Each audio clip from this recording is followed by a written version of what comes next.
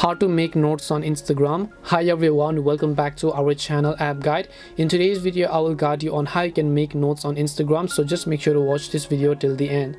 In order to make notes on Instagram, all you have to do is just open the Instagram app over here.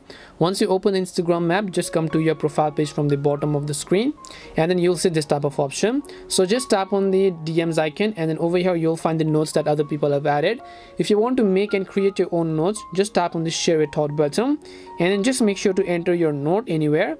Once you make sure to enter your note just tap on the share button. And once you've done that your note will be successfully shared. And this is how you can actually make notes on instagram. We hope the video was really helpful. And if it did help you make sure to leave a like and subscribe to the channel.